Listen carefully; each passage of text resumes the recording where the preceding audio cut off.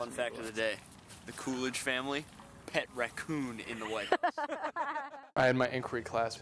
It was politics of American law, and all of our homework consisted of reading and briefing Supreme Court cases, which to any sane person that sounds like totally dry and boring, right? But me and a couple friends that I had in the class really enjoyed it. So we were like, well, wouldn't it be kind of cool to actually see the Supreme Court in action? So we just sort of like went with it and decided to make a plan for spring break to go see the Supreme Court. Essentially, we just went there, we went to all the museums that we could. We stood in line a lot for the Supreme Court, got in for one of the cases, and so it was actually a patent law case. So it wasn't the most riveting of all cases, but it was still really fun.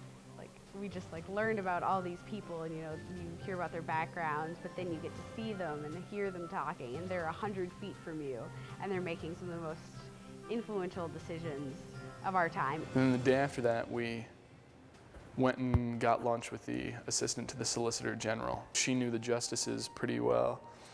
It was really interesting to hear about all these different personalities of these, you know, these figures we see from a distance and just kind of revere them. And it was interesting to see them as human beings.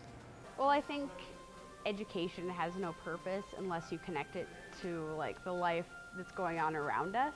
And so when you actually go to the place that you're learning about, you can really see how everything correlates and mixes together and how it actually, you know, is an actual thing that's happening.